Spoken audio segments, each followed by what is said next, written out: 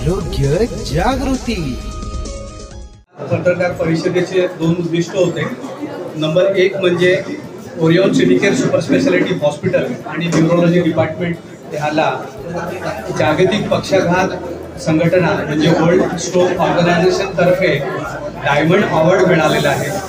हा diamond award अशाच हॉस्पिटलला मिळतो जिथे पक्षाघाताचे जे रुग्ण आहेत त्यांना योग्य तो गाईडलाईन्स प्रमाणे तंतोतंत इलाज केला जातो आणि त्यांची काळजी घेतली जाते. तर नव्वद टक्क्यापेक्षा जास्त रुग्णांना योग्य तो उपचार वेळेवरती आणि म्हणजे, जागतिक गाईडलाईन्सप्रमाणे मिळ- दिलेला असेल तर हा डायमंड अवॉर्ड मिळा मिळाला जातो जे सुपूर्द केला जातो. आणि दुसरं उद्दिष्ट आहे की ओरिओन सिडिकेल सुपर स्पेशालिटी हॉस्पिटलमध्ये ॲक्यूट स्ट्रोक म्हणजे पक्षाघातासाठी हेल्पलाईन चालू केलेली आहे. ही हेल्पलाईन पूर्णपणे टोल फ्री आहे. ह्या नंबरवरती कुठला कोणीही रुग्ण किंवा त्यांचे नातेवाईक रुग्णाला पक्षाघाताचे लक्षणं जर दिसत असतील तर ताबडतोब ह्या हेल्पलाईनवरती नंबर करू फोन करू शकतात आणि ह्या फोनवरती त्या रुग्णाला योग्य ते मार्गदर्शन केले जाते. कुठे ट्रीटमेंट घेणं गरजेचं आहे? कशा पद्धतीची ट्रीटमेंट घेणं गरजेचं आहे? ह्याचे योग्य ते मार्गदर्शन केले जाईल. आणि ही एक संकल्पना Orion city care super speciality हॉस्पिटलमध्ये चालू केलेली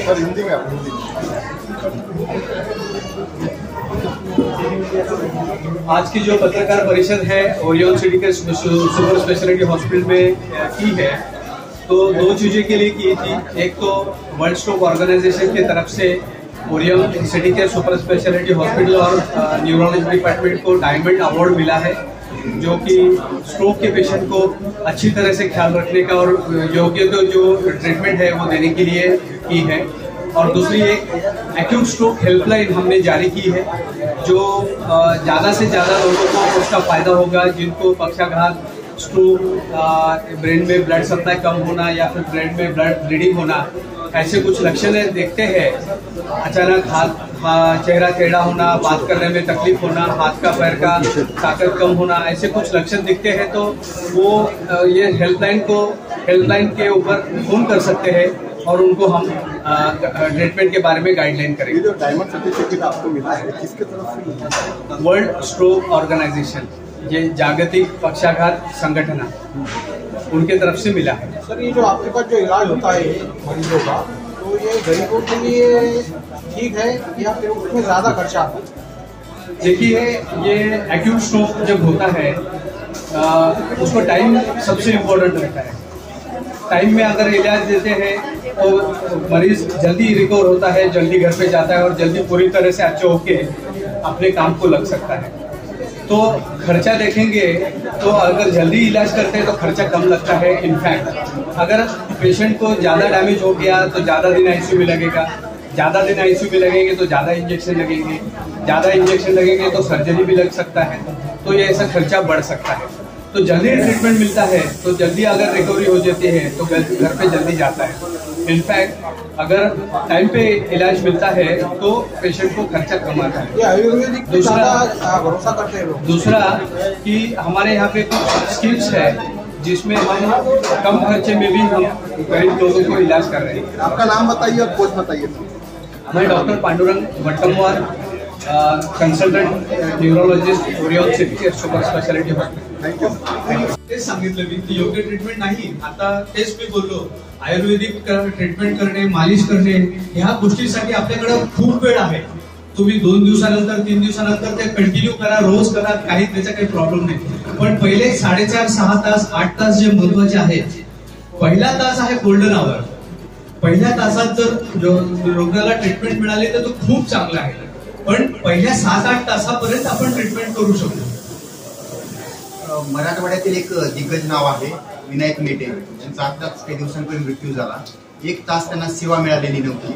त्यानंतर आता तुम्ही उद्घाटन केलेलं आहे हेल्पलाईनचं त्याचा कसा उपयोग होईल? कारण या त्या ठिकाणी फक्त एकच तास जरी लवकर सेवा मिळाली असती तरी ते आज आपल्यात राहू शकले असते.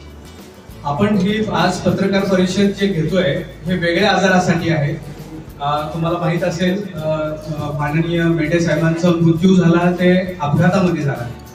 आपण हे करतो स्ट्रोकसाठी करतो तर पक्षाघात हा आजार वेगळा आहे आणि अपघात हा वेगळा आहे. सर आपण म्हणता क्वार्टरली अपडेट म्हणजे जे दवाखाने तीन महिन्याच्या जे जागतिक पक्ष पक्षघात संघटनेची नोंद करतात. इतर हॉस्पिटल नोंद करत नाही म्हणून त्यांना डायमंड पुरस्कार मिळत नाही असं म्हणायचं का?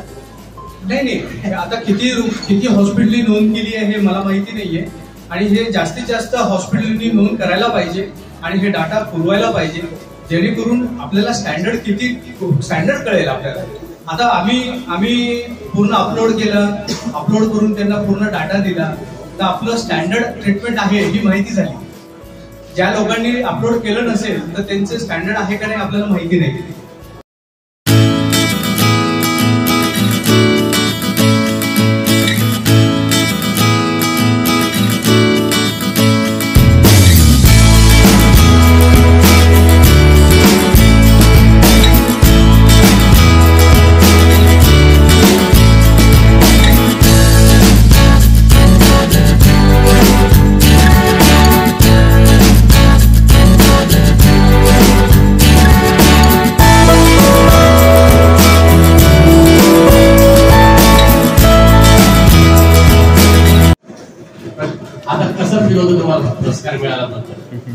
काम अनुभवात पुरस्कार. हे दोन्ही बाबी वेगळे आहेत काय वाटतं नक्कीच म्हणजे जेव्हा कामाचं अप्रिसिएशन होतं एक नवीन स्फूर्ती येते. आणि अजून जास्त काम करण्यासाठी एक म्हणजे स्फूर्ती भेटते. आणि अजून जास्तीत जास्त चांगलं काम व्हावं हेच आमचा प्रयत्न सदैव राहील. थँक्यू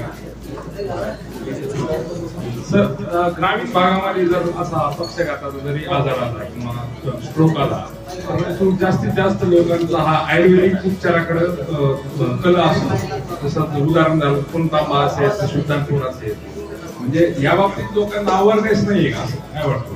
या बाबतीत लोकांना अवेअरनेस आहे. असं नाही की म्हणजे अवेअरनेस पहिले तर खूप कमी होता. आता अवेअरनेस वाढत चाललेला आहे. त्याचे मला असं वाटते की काही कारण आहेत. पक्षाघाताचे एक तर कसं आहे की पक्षाघाताची लक्षणं काही जणांना ओळखल्या जात जात नाही त्याच्यामुळं ते वेगळ्या ठिकाणी जातात.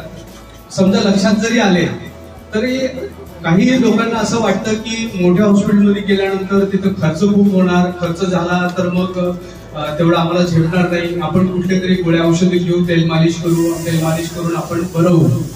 असं वाटतं. त्याच्यामुळे ते अल्टरनेटिव्ह मेडिसिनकडे जाण्याचा प्रयत्न करतात. काय होतं मी आता मी मागच्या दहा वर्षापासून औरंगाबाद इथे वैद्यकीय सेवा देतोय आणि मेंदुरोगाच्या रुग्णांसाठी. मी बघितलेलं आहे की एखादा मायनर अटॅक आलेला पेशंट असेल मग सौम्य अटॅक असेल बऱ्याच पेशंटला आम्ही ऍडमिट पण करत नाही. ऍडमिट न करता गोळ्या औषधं देतो आणि तो रुग्ण पूर्णपणे बरा होऊन जातो. असा जर रुग्ण अशा वेगळ्या ठिकाणी गेला जे तुम्ही मी नाव घेऊ इच्छित नाही कुठल्या सेंटरचं पण त्या ठिकाणी गेला तर त्या झालेला जो रुग्ण बरा होतो तो दहा ठिकाणी जाऊन सांगतो की मी इथं बरा झालो मी इथं बरा झालो. आणि शेजारचे बाजारचे लोक त्यांना काही माहीत नसतं तर त्या सेंटरचं नाव मोठं करतात. आणि जेव्हा एखाद्या रुग्णाला मोठा अटॅक येतो तो सुद्धा रुग्ण तिथेच जातो जेव्हा मोठा अटॅक येतो अशा रुग्णांना योग्य ते ट्रीटमेंट जर नाही मिळाली वेळेवरती तर मेंदूचं खूप सारं नुकसान होतं मेंदूला डॅमेज होतं. त्याच्यानंतर मग रिकव्हरीची शक्यता खूप कमी होते. माझ्याकडे आमच्या हॉस्पिटलमध्ये आणि बऱ्याचशा हॉस्पिटल मला मला एवढं नक्की वाटतं की बऱ्याचशा हॉस्पिटलमध्ये सुद्धा बऱ्याच हॉस्पिटलमध्ये असे रुग्ण येत असतील की दोन दिवसानंतर तीन दिवसानंतर चार दिवसानंतर अशा सेंटरमधनं जे सिरियस होऊन येतात.